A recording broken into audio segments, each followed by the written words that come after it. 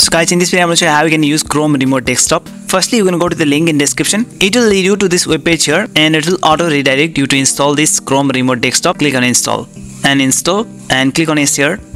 Now click on this download here. Click on add to Chrome, add extension. Now it has been added. What you're going to do is right click on this extension and go to pin.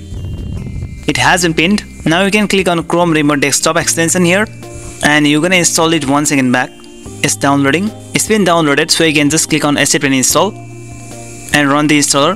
Run. Now you're gonna give the name to your computer and you can choose a pin here and start.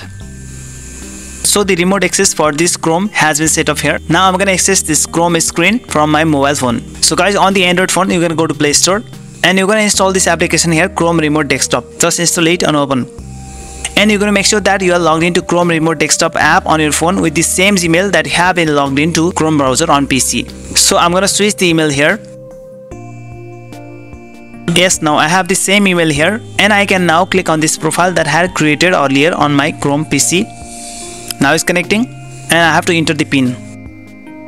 After you enter the pin, you can just remember and then next. Now I can access the desktop Chrome version on my Android phone. To use the mouse, you're gonna have to choose the trackpad mode and now I can use the mouse. So guys, that's the way how I can use Chrome Remote Desktop. If you like this video, then just give a thumbs up and don't forget to subscribe my channel. Goodbye.